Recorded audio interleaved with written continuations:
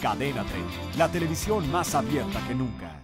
Por su parte, el candidato presidencial de la coalición Movimiento Progresista, Andrés Manuel López Obrador, se reunió con ejecutivos de finanzas ante quienes desmintió la leyenda acerca de que mandó al diablo a las instituciones luego de que perdió la elección del 2006. Escuche nada más la explicación de Andrés Manuel, es tan simpática como increíble.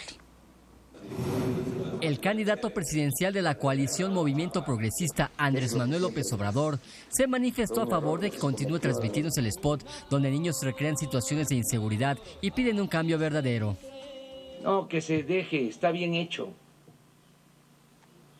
Está bien hecho. Se refleja bien la realidad.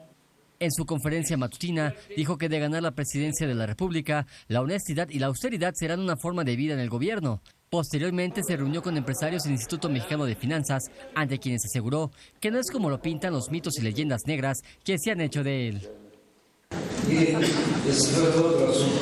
Nunca dije al diablo con ellos.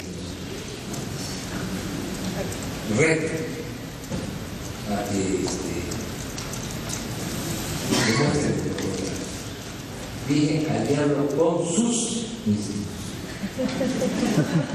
Es distinto. ¿O no es distinto?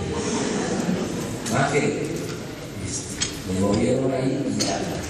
Quiten eso de la cabeza, ya no es posible. Rechazó la apertura de Pemex al capital privado y aun cuando los empresarios destacaron la urgencia de aprobar las reformas estructurales, López Obrador dejó en claro su postura al respecto. No dorarle la píldora a nadie. No venir a eh, querer quedar bien con ustedes y que yo les hable de que vamos a llevar a cabo las reformas estructurales. Yo no creo en eso, porque esa es una agenda que nos impusieron desde fuera.